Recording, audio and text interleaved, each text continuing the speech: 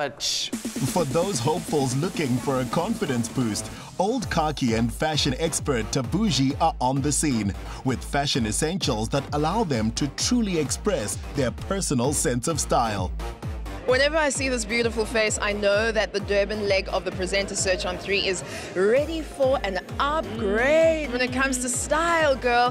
Tabuji, so what is it that adds that extra pizzazz uh, that makes a presenter's style really stick out?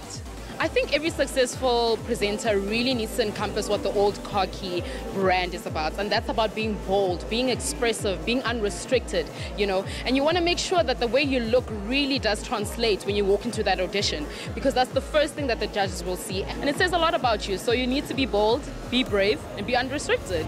First impressions last, and for Fanele Zulu, a fresh new look could be the key to winning the judges' favor and making it through to the callbacks.